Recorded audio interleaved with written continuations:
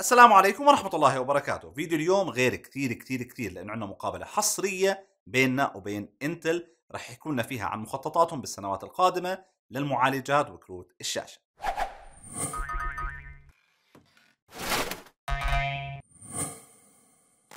المقابلة صارت مع السيد طه خليفة المدير الإقليمي لإنتل في قطاع المبيعات في أوروبا الشرق الأوسط وأفريقيا. هاي المقابلة المفروض كان لازم تصير بدبي ولكن لظرف ما ما قدرنا نسافر فالجماعة مشكورين عملوها معنا على زوم سجلنا لكم إياها ترجمناها لأنه كانت بالإنجليزي كان في ناس بالمكالمة ما بيعرفوا عربي وهيها كاملة. سألنا انتل ثلاث أسئلة رئيسية ولكننا طلبنا إجابات بالتفصيل الممل. الأسئلة اللي سألناها هي مجموع أسئلة كثير أنتم بتسألونا إياها دائما أو معلومات حسينا أنه أنتم لازم تعرفوها. السؤال الأول كان عن المعالجات والمنصات المكتبية وشو مخططين بعد الجيل الثاني عشر أو ألدر ليك بغض النظر والله بعد 10 سنوات خمس سنوات ولا شو؟ احكوا لنا بالتفصيل الممل. السؤال الثاني كان عن كروت الشاشة الجديدة تبعت انتل وبالذات عن الكروت الديديكيتد أو المنفصلة مش الأشياء اللي جاية بلت ان أو على اللابتوبات. والسؤال الثالث والأخير كان عن انتل بشكل عام عن التوفر الأسعار وبالذات عن سياستهم والأشياء اللي راح يعملوها بمنطقتنا العربية. نبدأ بالسؤال الأول اللي هو عن المنصات المكتبية لوحات معالجات وتقنيات معماريات. شو مخططين الجماعة يعملوا كمان كم سنة؟ هل نرفع ولا لا؟ يعني الآن إحنا بالجيل الثاني عشر الدر ليك الجيل الثالث عشر جاي قريبا جدا. هل نرفع ولا ما نرفع؟ وشو مخططات انتل في الفترة القادمة؟ So uh, thanks, Muhammad. I think you kind of asked a few questions and let me kind of dissect them, take them from the overall high level picture, and then go down deep until we discuss what's the strategy. So overall, um, we see a pretty strong, solid, uh, especially in the gaming uh, gaming market and, and, and gaming community worldwide. And it's a segment that's been growing at double digits, um, as you know, um, worldwide. So it's a, it's it's a it's a, it's a big segment for us at Intel. Generally, um, we have uh, introduced for the first time uh, five the plans to introduce five process nodes in the next four years. So we started with Intel 7. We have plans for Intel 4 and Intel 3. Um, and then we're going into the angstrom era in 2024, where we will introduce 20A and 18A um, as our, our products. So if, if you calculate those, these are five process nodes. Each node offer you know double digit performance per watt upgrade from the, the previous ones. So that that that speaks on the process. Um, and it's not only the process, it's also the packaging technologies. The other point is the architecture. So I know you know very well that Core i9, this is this is basically the best uh, desktop gaming processor. We also introduced that on the mobile, um, and our 12th gen is also the fastest mobile uh, CPU. The interesting thing about Alder Lake is that its scalability. So it starts from you know entry level, uh, small form factor, low wattage form factor, all the way up to the ultimate enthusiast desktop, 65 watts and above. Uh, so that's that's Alder Lake. Um, as we go at the end towards the end of this year, we'll also introduce Raptor Lake, um, and think of Raptor Lake as an optimization of Alder Lake. So it will maintain, of course, the hybrid core technology that we introduced. Um, however, it will add additional threads um, and additional CPUs.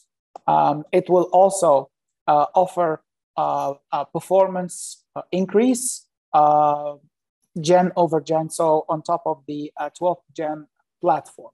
Uh, so that's that's in a nutshell Raptor Lake. The interesting part is that Raptor Lake is going to be socket compatible with Alder Lake. Uh, so I think that's good news for folks who upgrade. So that's that that that that kind of answer. But I'll I'll, I'll leave this question until I I, sh- I, I, I share with you our roadmap, and then I'll share with you the uh, the answer to that. And then as we go into 2023, we're introducing a new architecture. So this is what we call disaggregated architecture. Instead of just like having a, a single package uh, for the CPU, we'll introduce the concept of tiles. So you're gonna have a compute tiles, graphics tiles, IoT tiles, SoC. So there's gonna be multiple tiles. So we will maintain the hybrid architecture, but we will introduce this, this aggregation. Um, the reason we have this, this aggregation is that it gives us the ability to use the best process nodes and IP blocks that are available. So these, whether they are manufactured um, internally at Intel or at a foundry. So, and it also gives us the ability to introduce products quickly. Uh, so think of it as a more modular way, like you know, software. Um, it's like how you, you you have different components and you can mix them together. These different building blocks. So think of the disaggregated architecture as an opportunity to do that. Um, it will be introduced on uh, Intel 4, so the new process technology. Um, and again, I think uh, Meteor Lake will also offer many additional things, uh, new uh, AI modules, um, integrated uh, different what we call XPUs. So now we're, we're talking about GPUs, VPUs, etc. Starting 2024, then it's Arrow Lake, and you know it's um, it's difficult to talk about all of the features there now, but I think that gives you an idea that we have 2022 it's Raptor Lake still on Intel 7, 2023, Meteor Lake on Intel 4. And then as we go into 2024, this is going to be mostly, it's going to be Arrow Lake uh, on 20A. So it's going to be our first angstrom. Also, as we introduce Meteor Lake, we're going to be looking very closely at the uh, power and how to introduce low power products. That's, that's, that's kind of an overall run of how we have this leadership on the process technology um, and, and also on the uh, product itself. Going back to your question, so what should I do? Um, I think I think this this helps everyone. Um, we need to continue driving the innovation. What happened during COVID uh, is that it established the PC as an essential device. Um, so a lot of people were talking about, and, and I think we hear this every maybe five years or four years. The PC is dying. You know, nobody's using PCs and then something happens and it ignites and the innovation and technology ignites the PC. The acceleration of digital transformation because of COVID did a couple of things. Uh, number one, establishing the PC as an essential device. And number two, there was a big acceleration in digital transformation with our customers as well. The upgrade, I think it's, it's usually um, a personal choice. Uh, so it depends on how old is your device, um, how big of a gamer fan you are, uh, what kind of your favorite games. I think that, that there are many factors. It's, it's, it's very difficult to kind of like say, oh, the recommendation is this. My recommendation would always be go with the best thing. There are people who do that. I'm sure you know that that could be my my recommendation. what we do with our technology is introduce compelling features um, in each of the platforms to give people the opportunity to use their machines to the ultimate uh, and to have the best experience they have, whether it's gaming, collaboration, productivity. We, we look at the full spectrum of uh, usages and make sure that you know the, the, the user has the ultimate experience uh, with the platform. السؤال الثاني كان عن كروت انتل الجديدة اللي هي انتل ارك. متى رح نشوفها نازلة؟ طبعا غير عن الأشياء اللي موجوده باللابتوب والأشياء الجاية مدمجة على المعالجات. نشوف كرت نركبه زي كروت انفيديا واي ام دي. خصوصا إنه انتل بتحسها ماخذة وقتها بالموضوع يعني مش مستعجلة كثير أو ما بدها تنزل منتج مش كامل فهل هذا الكلام مقصود ولا مش مقصود ومتى رح نشوف هاي الكروت بالضبط Yeah, so so so this is a great question, uh, and I think you referred to a key point, which is um, I think we are making our move into this market very um, kind of wisely, um, and at the same time, it's very deliberate. We have a, a full roadmap for the next few years um, on our discrete gaming. So we are committed to this market. This market is a $10 billion market, the discrete graphic, almost 75 million units. So this is this is a, a very big market. Um, and we believe that we can be a leader in this market. And this is why we introduced our Intel Arc architecture. So this is a new architecture that, that we introduced. This year, we are we have a plan to sell 4 million units of the Intel Arc. We, we announced that. That's kind of our initial plan. Um, now, there are two, uh, two, two ways uh, to get the Intel Arc. Uh, one, uh, in notebooks, so through our MNCs. Um, and this we already launched. Uh, we, we plan to launch the desktop, the add-in cards um, this summer. Uh, so we're talking a Q2. Um, so around the Q2 timeframe. So this is this is where uh, you will be able to get some of these uh, add-in cards, discrete graphics.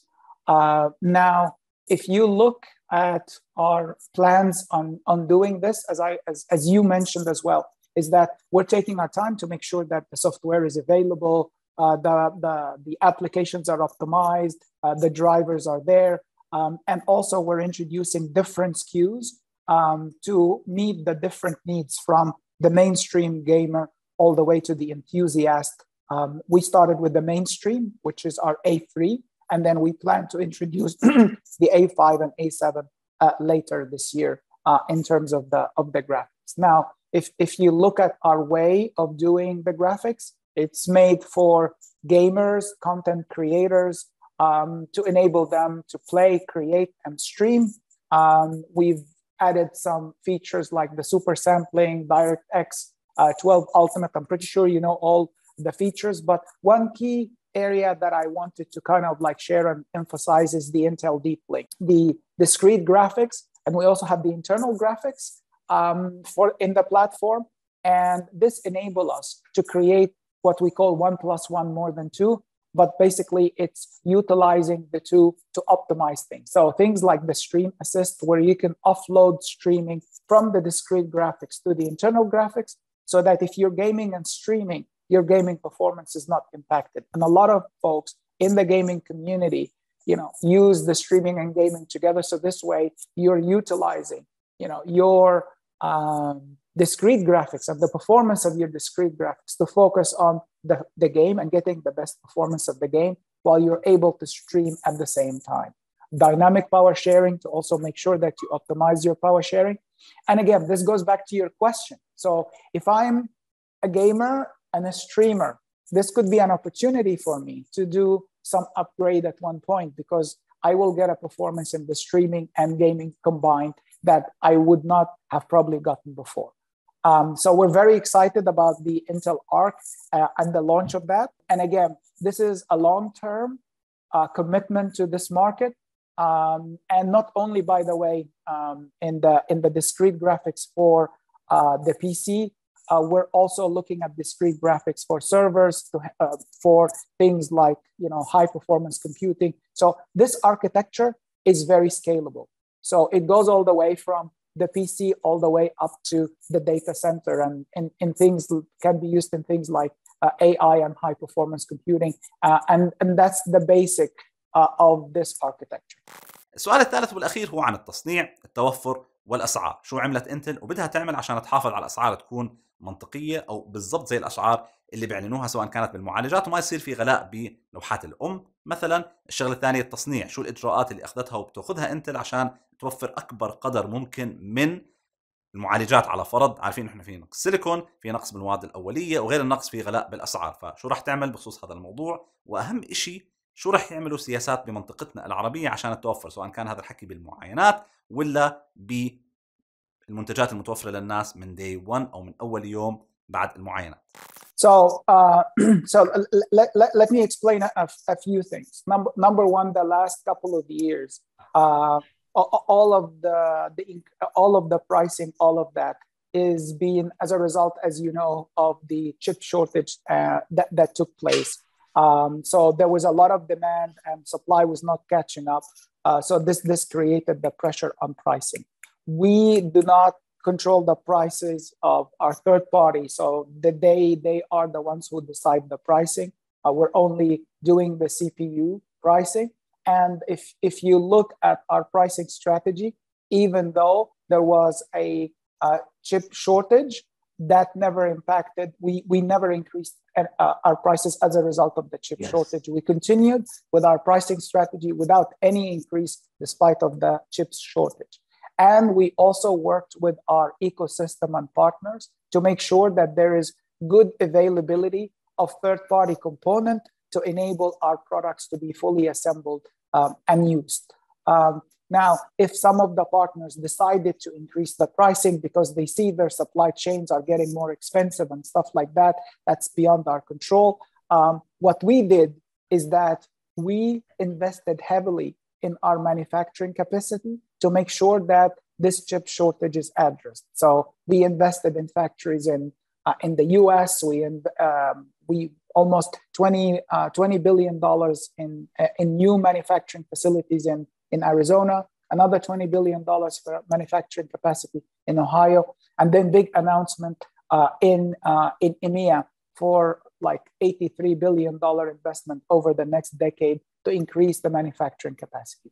All of this is expected to increase the supply and to make sure that you know we have availability of silicon supply uh, to support the expected demand that we see, not just in the PC market, but across the technology and the semiconductor business. We also work closely with our customers to make sure that they see the supply, they, they see the demand expectations um, so that they can profile and they can build their capacity with this demand. We work across the ecosystem for availing uh, the products, uh, for uh, making sure the supply chain is resilient. Now, going back to your point about availability, we make sure that this region has availability of products, has the availability of samples, have the availability of everything uh, that it needs since it's a high growth region. Um, and especially across this region, if you see, I think the market in, in, in Saudi, the market here in the UAE, the market in Egypt, these are three markets where there is a strong gaming community. Uh, and from a volume perspective, Saudi and Egypt, uh, the number of gamers there is, is pretty high and growing double digits. So these two markets are prioritized uh, in the top markets in, in EMEA uh, in terms of their gaming communities as such. Thank you very much. Thank you. Thank you for this opportunity. Thank you for your commitment to uh, supporting the region furthermore. And uh, we look forward to your next launches. Uh, we enjoy testing them and showing our results to, to our viewers.